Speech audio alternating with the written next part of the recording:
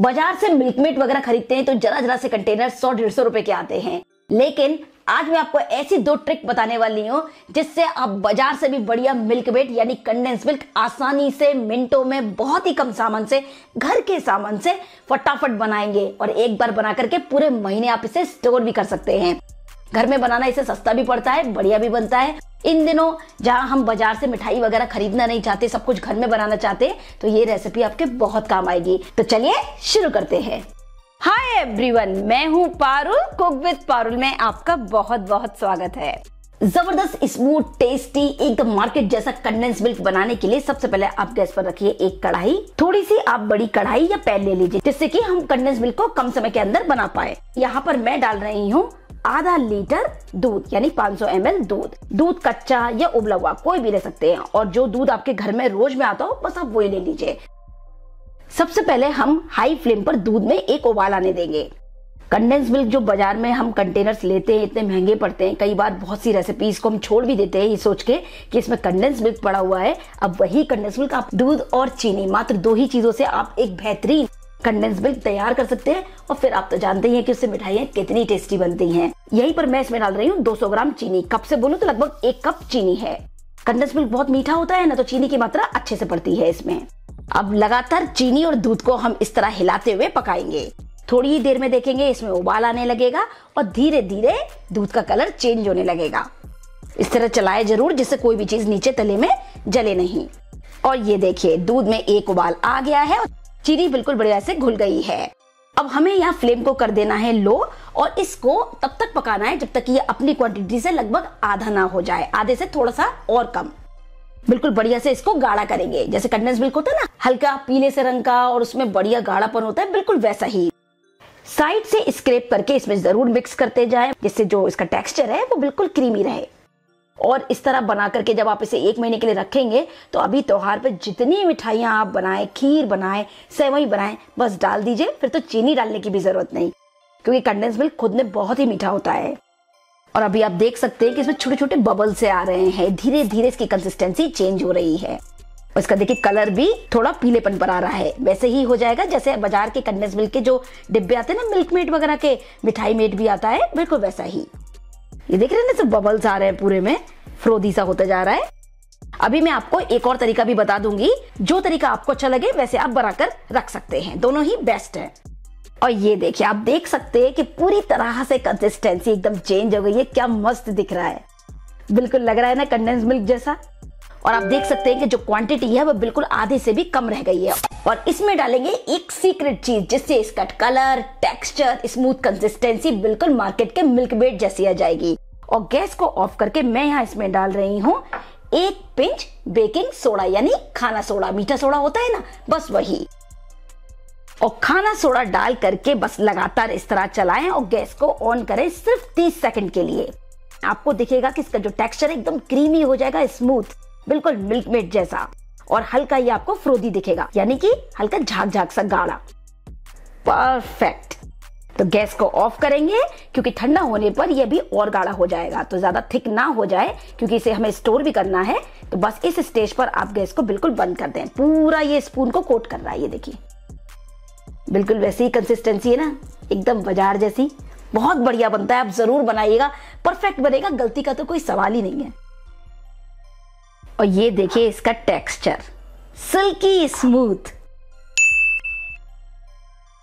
अब आप चाहे इसे मिठाई में डालिए, केक में डालिए, आइसक्रीम में डालिए, खीर बनाइए, सेवई बनाइए, जो चाहे वो आप बना सकते हैं, बर्फ़ी वगैरह, नारियल के लड्डू, सभी की रेसिपी आप मेरे चैनल पर देख सकते हैं। तो इसको पूरी तरह ठंडा होने देंगे। यहाँ पर मैं आपको कुछ टिप्स ज़रूर देना चाहूँगी। मान लीजिए आपसे ये थोड़ा ज़्यादा गाढ़ा हो जाए तो आप इसमें थोड़ा सा दूध और ऐड करके इसकी कंसिस्टेंसी को बैलेंस कर लें।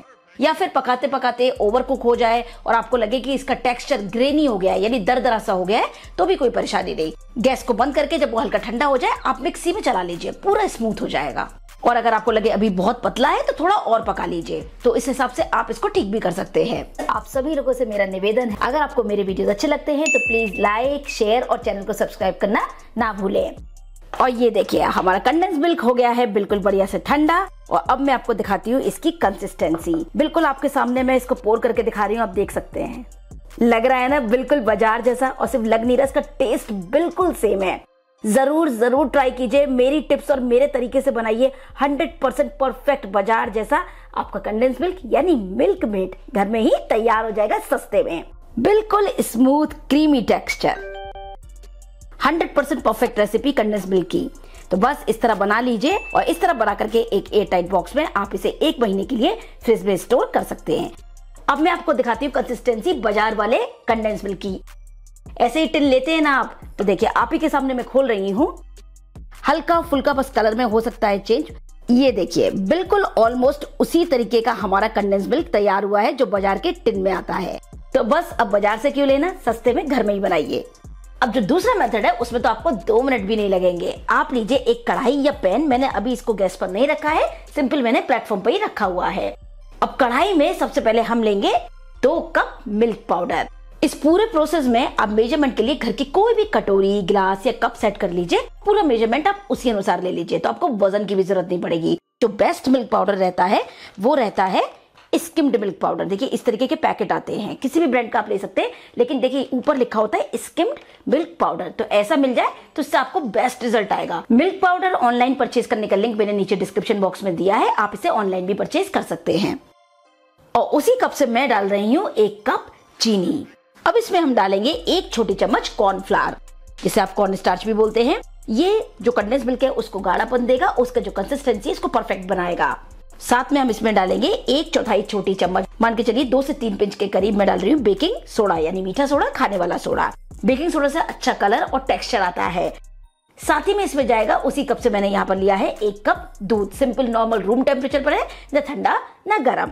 अब अच्छी तरीके से सभी चीज़ों को पहले ही मिक्स कर लें, उसके बाद हम इसे गैस पर चढ़ाएँगे। इससे क्या होगा ना, लम्स नहीं बनेंगे। तो जिस चीज़ की सुविधा आपको लगे, उस अनुसार चाहे तो दूध से बना लीजिए, चाहे मिल्क पाउडर से। और गैस पर चढ़ाकर लो फ्लेम पर आप लगातार इसको चलाएँ। चलाना ज़रूर है, वरना लम्स बन जाएँगे। तो बस इस तरह चलाते रहें, इससे इसकी कंसिस्टेंसी एकदम स्मूथ बनी रहेगी क्रीमी क्रीमी एकदम। लगभग एक डेढ़ मिनट बाद ही आप देखेंगे कि आपको ये थोड़ा सा फ्रॉदी सा लगेगा, यानी झाक झाक सा। ये देख रहे हैं ना आप? बस इसके बाद ही ये तुरंत से गाढ़ा हो जाएगा। और इस तरह से चलाते ज़रूर है क्योंकि तले में लगने लगता है। तो बस इस तरह चलाइए और मिक्स करते जाइए। लगातार आपको स्टर करना है। और ये देखिए, बिल्कुल परफेक्ट कंसिस्टेंसी क्रीमी टेक्सचर ये देखिए ना आप रिबन की तरह परफेक्ट शाइनी ग्लेस के साथ। बस दोनों में एक माइनर डिफरेंस जो आता है, वो आता है थोड़ा सा कलर का। जो आप दूध से बनाते हैं, उसमें बिल्कुल बाज़ार जैसा कलर आ जाता है, हल्का कैरामलाइज्ड और जो आप मिल्क पाउडर से बनाते हैं, हल्का सा कलर लाइट होता है। तो गैस को बंद करेंगे और इसको थोड़ा ठंडा होने देंगे। और ये लीजिए, हमारा दो मिनट वाला कंडेंस मिल्क है, बिल्कुल तैयार। देख रहे हैं इसका स्मूथ क्रीमी टेक्सचर ज़बरदस्त बनाए इसको भी आप पूरे एक महीने यूज़ कर सकते हैं। तो अब दोनों मेथड में से जो भी आपको बढ़िया लगे, उस तरह आप बनाकर रखिए अपना घर का होम मेड कंडेंस मिल्क और बनाइए सस्ते में ढेरों मिठाइयाँ आइसक्रीम केक और डेजर्ट्स तो अगर आप कैलकुलेट करें तो मात्र अट्ठाईस रूपए में आपका लगभग 300 ग्राम से भी ऊपर कंडेंस मिल्क तैयार हो गया। जो आप 400 ग्राम का एक टिन 120 रुपए का लेते हैं मार्केट से, इतने सस्ते में ये घर में ही बन गया। तो देखा आपने, दोनों ही तरीके से कंडेंस मिल्क बनाना घर में कितना आसान है? आप भी बनाइए, मुझे फटाफट कमेंट में बताइए, आपको कौन सा तरीका अच्छा लगा और आप कंडेंस मिल्क किस तरीके से बनाने वाले हैं? पक्का बनाइए 100 परसेंट परफेक्ट रेसिपी है, आपके बहुत काम आएगी त्योहारों पर। उम्मीद करती हूँ आज का वीडियो आपको हेल्पफुल लगा होगा।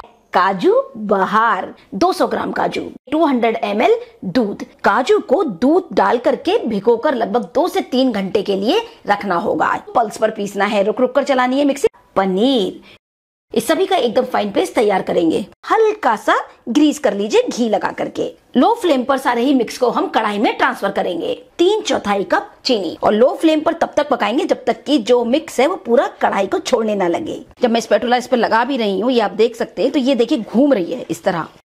अब गैस ऑफ़ करके इसमें हम डालेंगे थोड़ा सा रोज एसेंस और पूरे मिक्स को हम ट्रे में ट्रांसफ़र कर लेंगे। देर के लिए या तो आप पंखे में रख दें, जब ये पूरी तरह सेट हो जाए, उसके बाद आप इसे कट करें। और बस अब इसे अपने मन चाहे शेप में आप कट कर लें। और मैं इसमें दे रही हूँ इस तरह से इम्प्रेशन अब मैं इसके ऊपर लगा रही हूँ थोड़े से कटे हुए पिस्ता, थोड़ी सी बड़ी इलायची के दानों से, थोड़े गुलाब की पंखड़ी से। तो ये लीजिए, बिल्कुल तैयार है। काजू, बाहर, मिठाई। अगर आपको वीडियो अच्छा लगा है फ्रेंड्स तो प्लीज़ प्लीज़ प्लीज़ चैनल को सब्सक्राइब करना बिल्कुल ना भूलें। इसी तरह मेरे इंस्टाग्राम और फेसबुक पेज को भी ज़रूर फॉलो करें। और सभी रेसिपीज़ की डिटेल्स आप मेरी website cook with Parul dot com पर देख सकते हैं। Thank you for watching cook with Parul जय हिंद, जय भारत।